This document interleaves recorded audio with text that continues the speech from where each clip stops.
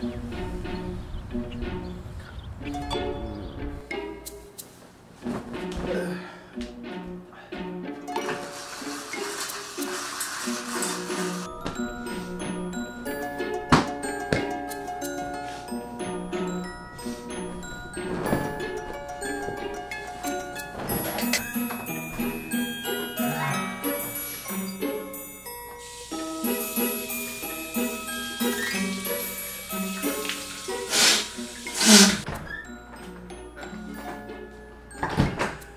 Mag-coffee muna tayo kasi hindi magsisimula yung araw ko without coffee. So let's have, let's have, let's have coffee first.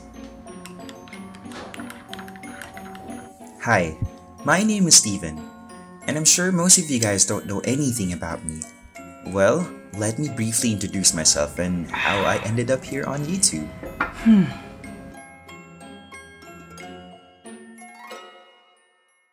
I've always had a passion to share stories, create visual content, take photos, capture moments, and basically something to look at in the future para maramdaman ko ulit yung naramdaman ko nung segundong yun na nangyayari mga bagay-bagay.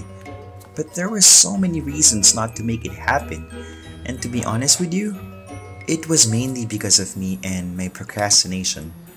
I've always been afraid of what others would say, what other people would think, how funny I'd look, and how I would embarrass myself. But one of the biggest reasons why I never pushed for this was I never really had a good support group.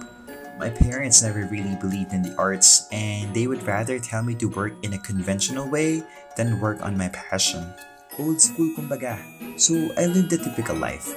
I wake up early, go to work, sumahod kada quincenas, eat, hang out with friends, and sleep. For most people, this is a normal thing. But for me, it felt like I wasn't happy. I felt like there was something missing. And so the years went by, and since I'm not closer to pursuing my dreams, I diverted my attention into focusing in finding a partner in life. I was in a steady relationship for 7 years. Siya yung naging sandalan ko and everyday life ko.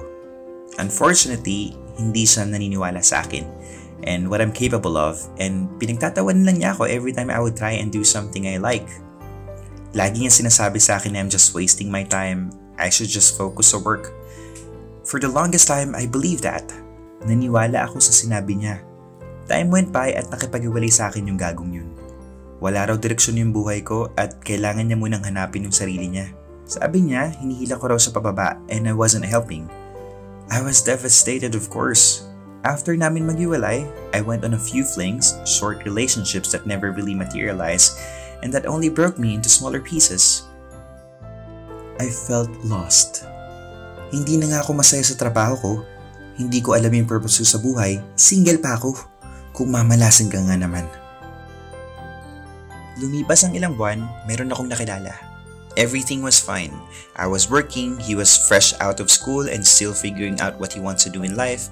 I was financially stable, we were in love. One day I told him that I want to pursue my passion. I wanted to be a vlogger. I wanted to make video content online. At first, he was skeptical, but I told him, I don't want to live an unhappy life. I'm too old to be unhappy. So he pushed me to do what I want, what I like. He supported me and I loved him more because of that. As months passed by, it wasn't easy. I wasn't earning. The videos I made weren't getting any views. No one really cared about my work, and basically, I was vlogging for my own satisfaction. My money was dwindling, and my ex was basically paying for most of our expenses. He wasn't happy about it. We fought all the time because of this. Napaisip nga ako eh, bakit nung ako yung meron okay naman tayo? Bakit nung ako yung gumagastos para sa atin, we never really had a problem? Bakit ngayong wala na ako, may problema na tayo? Shouldn't we be helping each other in this time of crisis? Nag-away kami one time at nung nagkayos kami, nagulat na lang ako nakipagkita na pala siya sa iba at may kausap na siyang iba. I think I'm back to square one kasi kakarating lang yan dito tapos humingi siya ng closure and hindi ka pa rin matanggap.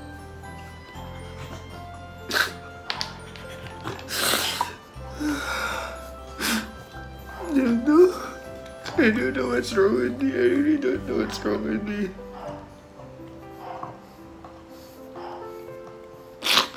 I don't know what's wrong with me. It's...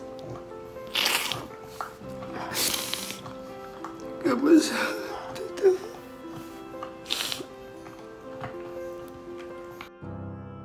And then we finally broke up. I was devastated once again. Akala ko siya na yung taong makakasama ko sa panghabang buhay.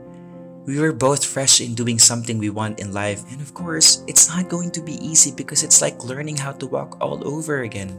But I was willing to hold his hand in this journey hanggang maging successful kami pareho. Hindi ba ganun ang partnership? Magtutulungan kayo and love each other unconditionally? Pero bakit when the moment got rough, binitawan mo yung kamay ko? Sabi niya he wants out. He said I was pulling him down and we weren't growing anymore kaya he left me. Parang pamilyar na to eh. Parang narinig ko na to lahat dati. And imagine that one person you trusted the most and pushed you to do what you want would suddenly leave you sa panahong walang-wala ka. Isipin niyo na lang how crushed I was. I wanted to go back to work because of this. Iniisip ko na lang na baka hindi para sa lahat yung nabubuhay sila out of their passion. Baka may ibang tao na ginawa ng Diyos para magtrabaho na magtrabaho lang para sa iba. And just be happy with that. I was depressed for months and even had my very first anxiety attack. I wanted to quit life. I didn't want to wake up anymore. Pero pinilit ko.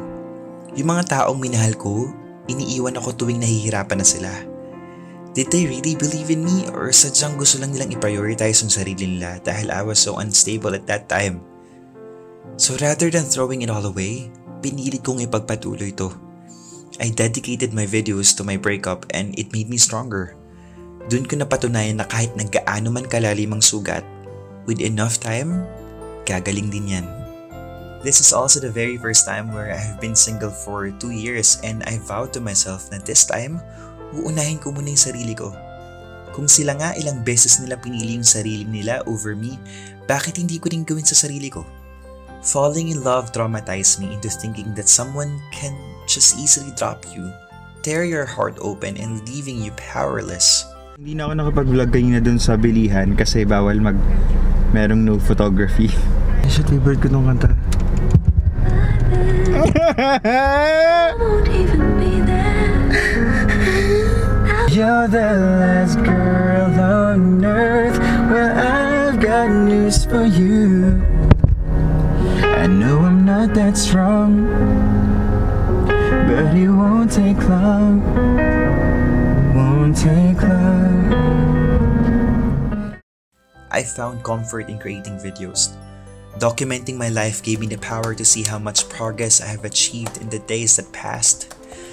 Vlogging has become my outlet for my pain.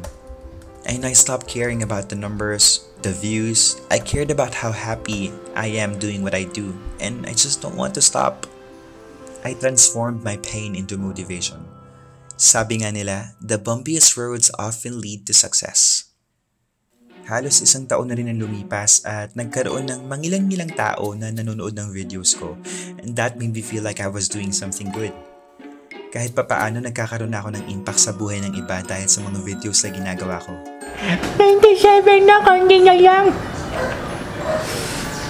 Ah, 3 to go! 3 to go! 99 na! 99 na! Oh my God! 99 na, 99 na. 99. Isa na lang po. Ano pa? Ang tagal naman, isa na lang. Isa na lang, ilan na lang? Isa na lang, 999 na. Thank you, Lord! Oh my God!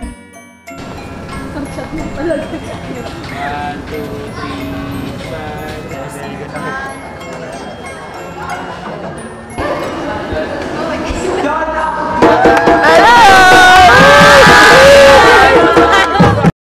then I realized, this time ako naman. This time ako muna. I'm not closing myself to any possibilities of love pero ngayon, I'm finally living my dream. I'm finally doing what I love and I would say that I'm in a good place. But I know that there's more to it. I know that life has so much to offer and discovering yourself is a never-ending journey.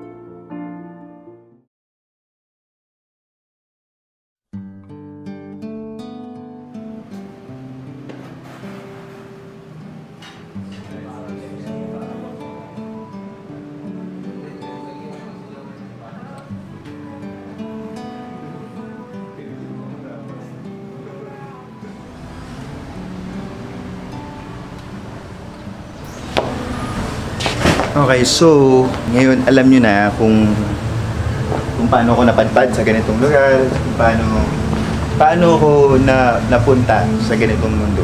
Sana samahan niyo pa rin ako sa bagong yugto or bagong chapter nitong buhay ko.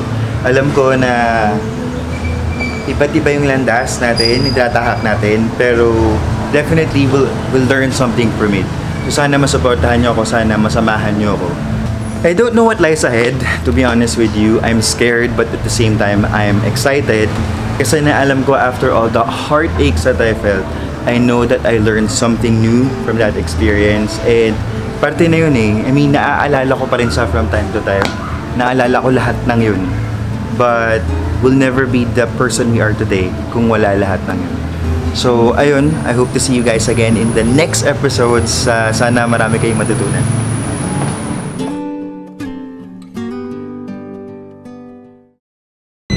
Cr- Sounds yan! Ayaw mag-seatbelt! We're back on the road! Ay, sunod pagdadrive mo na nga, hindi pa tayo nakakarating sa destinasyon natin. We haven't had breakfast eh, so kakain muna. Kakain? Kakain muna Kakain muna kami dito. We finally got here sa Lian, Batangas. It's a beautiful place kasi it's very secluded. Tap, makikita mo, ilan lang yung rooms na dito, air-conditioned rooms. Ang ganda ng place, I like it. I hope makapagdala rin ako dito someday. Mag-ulan? Ay, lang? Ano ba yung may kumagat sa akin? Yes! Arte. Ang arte mo, kala mo naman ang ganda ng balat mo. kala mo ang ganda ng balat. Dumi kaya ng balat mo. Laban, laban! Oh, bawi, bawi! Sure, ang ganda ng sunset dito. Tingnan mo, red na red. Oh. Ay, hindi nakikita mo sa video, but it's red.